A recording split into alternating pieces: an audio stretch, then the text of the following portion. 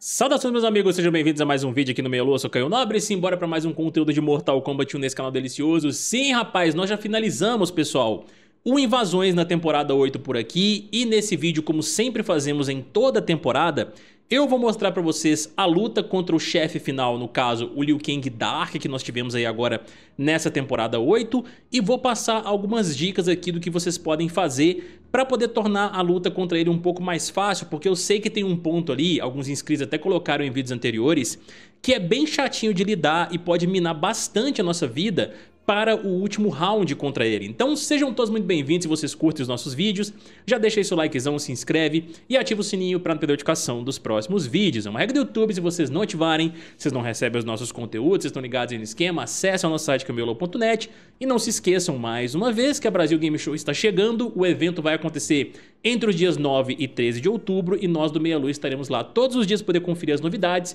e principalmente dar um abraço em vocês caso estejam presentes lá no evento. Se não garantiu ainda seu ingresso, o nosso link para o site da BGS está aqui embaixo no comentário fixado, então acessa lá e já garante o seu e nós teremos sorteio de ingressos deles também muito em breve para a quinta-feira da semana da BGS, beleza pessoal? Então Vamos lá, galera, sem mais delongas, primeiro de tudo, tá? Eu já vou começar aqui passando para vocês algumas dicas bem interessantes para vocês utilizarem aqui e tornar essa luta contra o Liu Kang Titã mais fácil. Por quê? A luta contra o personagem, pessoal, ela tem três rounds. Só que, no intervalo do segundo round pro terceiro, ele some da tela e começa a vir ali um monte de dragões, a gente tem que sair desviando e tudo mais, e realmente é bem complicado da gente desviar de todos ali, e isso, dependendo do personagem que a gente está utilizando, pode causar um dano considerável ali pra gente poder chegar no último round contra ele, e ele começa a drenar a nossa vida quando a gente tá perto dele nesse último round, né? Então fica bem complicado realmente e tal. Então, a primeira dica é, vocês vão ver até na minha gravação que eu vou botar poder rolar aí pra vocês,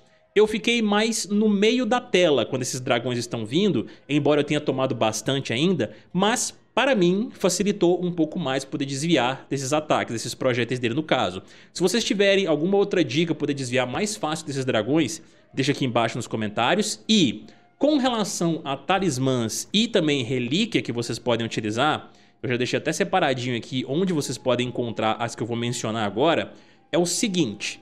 De relíquia, galera, eu recomendo vocês utilizarem essa daqui, ó, chamada Blockbuster. Por quê?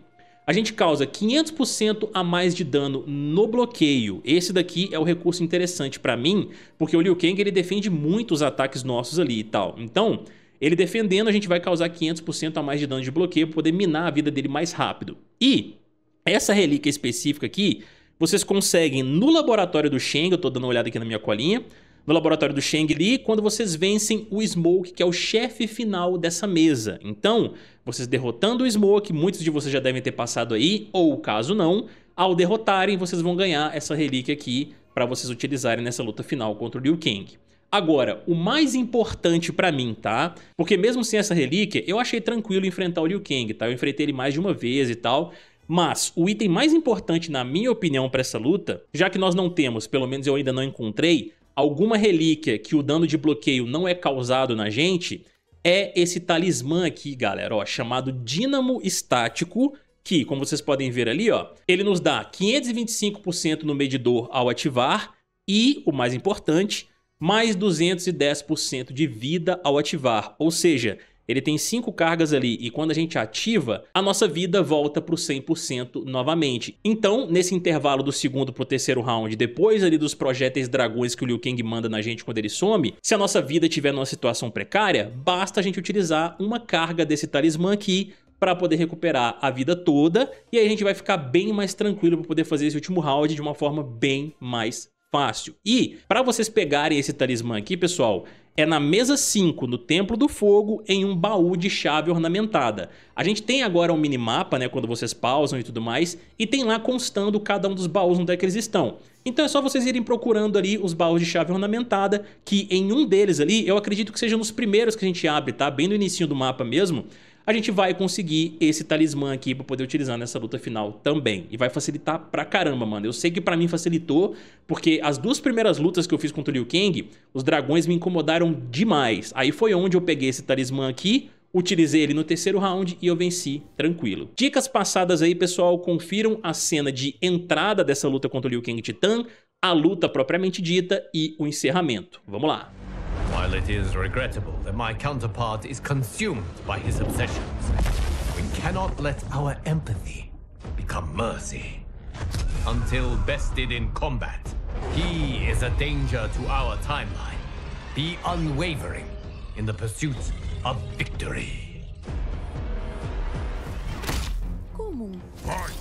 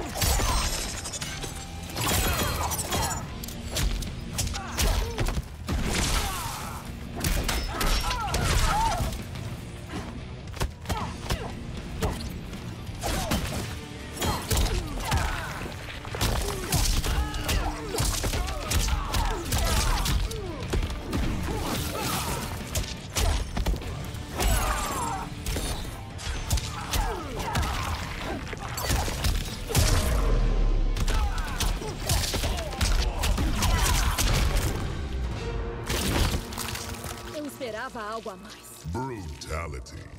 Though Liu Kang and his constructs were defeated, the threat they posed remained. They were deadly, resilient adversaries who would not willingly disavow their ways. For the protection of the timelines, I needed to cure my counterpart's madness. The task ahead was enormous. It required that I call upon once again the allies who helped seal Titan Shang Tsung's defeat. We joined our magic together, casting a spell of unprecedented power. Still, it took much toil to break down Liu Kang's insanity. He and his constructs have now returned home. Though I am relieved we salvaged his mind, I mourn those lost before we could. E é isso, meus amigos. Espero que vocês tenham curtido esse videozinho trazendo a luta final do Invasões da temporada 8. Deixa aqui embaixo seus comentários o que vocês acharam da luta, se vocês tiveram um pouco mais de dificuldade também, assim como eu inicialmente, se pra vocês foi mais fácil, o que, que vocês utilizaram e tal. Eu vou adorar os comentários de todos, galera, e mais uma vez, não se esqueçam do likezão, se inscrever no canal e ativar o sininho pra não perder notificação dos próximos vídeos. Eu vou ficando por aqui, um beijão pra todos vocês aí, até mais e... Fuemos, meus amigos.